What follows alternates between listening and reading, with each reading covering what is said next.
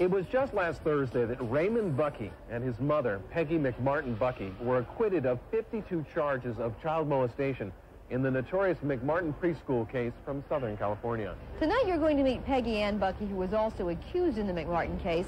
The charges were finally dropped, but Peggy Ann is still trying to rebuild her life. There is no evidence, and they will never have evidence because it never happened. Nothing ever happened at that school. Peggy Ann Buckey in 1986, a year and a half after it all began. The school was the McMartin Preschool, owned by Buckey's family. It was a respected institution in the seaside community of Manhattan Beach, south of Los Angeles. Peggy Ann Buckey, along with her brother, mother, grandmother, and three of the school's teachers, were accused of molesting hundreds of children.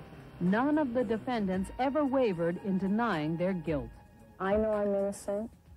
The people that I love and I'm close to know I'm innocent. God knows I'm innocent. There is strong evidence, compelling evidence, to indicate that two of these defendants are guilty. The evidence and the indication as to the other five is incredibly weak Los Angeles District Attorney Ira Reiner dropped the charges against Peggy Ann and four others after an 18-month preliminary hearing. It was found that the medical evidence was ambiguous. The children's stories were not supported by physical evidence, and the techniques used to develop the testimony were called into question. So her mother and brother went to trial, while Peggy looked forward to returning to her job at the high school where she taught until she was arrested. When I was dropped from the case, I reapplied for my teaching credentials. And at that point, the school district that I taught for stepped in and asked the state not to grant me credentials. For three years, Peggy worked as a legal aid to the lawyer defending her brother Ray. At the same time, she fought her own fight to regain her teaching credentials. It came down to a three-month hearing in which a judge heard the macabre stories of the McMartin school told once again. This mother of a preschool student describes what her daughter said about Peggy. Was naked in front of my child, took my child's clothing off, encouraged my child to participate in touch in acts of touching. When I did this, when I, you know, demanded the hearing and when I decided to go forward with this, I think I took a big risk with the publicity and everything that was going against me. To me, my odds of winning were slim. But she did win. The judge agreed the evidence was weak, and Peggy will no longer have to work outside her field. She's now developing a new special ed program for her school district and will soon return to the classroom. I find it very sad. Very sad that the judge in this hearing wasn't willing to listen to the children, that he'd clearly had his mind made up before we ever walked in the room. It's unlikely this mother will ever accept Peggy Ann Buckey's innocence as fact, and she is not alone. Manhattan Beach will remain a place where some people believe the Buckeys are monsters, criminals who violated children, who led them through satanic rituals, used them as objects of pornography. These are the stories that were told, stories that Peggy Ann will have to live with no matter how normal she tries to be. A long time ago, at the beginning of this, I used to worry about what people thought it really bothered me that people could think that I had done something so, just so revolting to me.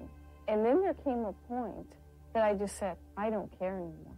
I do not care if you think I'm innocent. I don't care if the guy sitting next to you thinks I'm innocent, because I would go crazy if I worried about it. Journalist Kevin Cody writes for the Easy Reader, a community newspaper in Hermosa Beach near Manhattan Beach.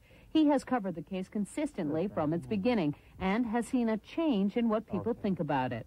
I think the whole, everybody was convinced that the allegations were true when the story came out.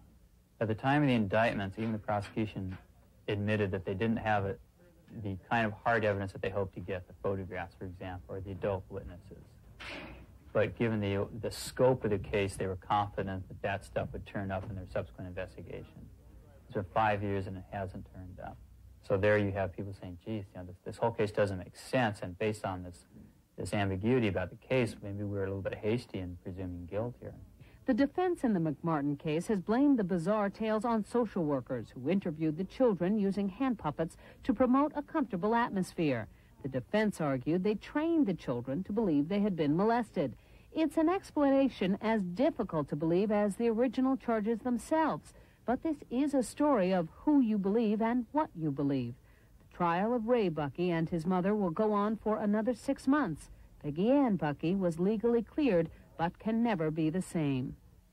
The sad thing in cases like this is you can't get anything back. You know, I, I can never get back the five years that were taken from me. I can never get back that I was smeared across the country as a child molester. I can never get back, you know, the things that I had before. I can't get them back, and I have to just accept that. There's victims on both sides of this, and no one will win in the end. Regardless of the outcome, no one will win. Obviously, Peggy Ann Buckey was not the only person whose life was changed by the McMartin case. The 12 jurors who sat in on the 33-month trial are now finally going back to the lives that they put on hold. According to a recent USA Today article, one juror was quoted as saying, I think everyone was the victim in this case.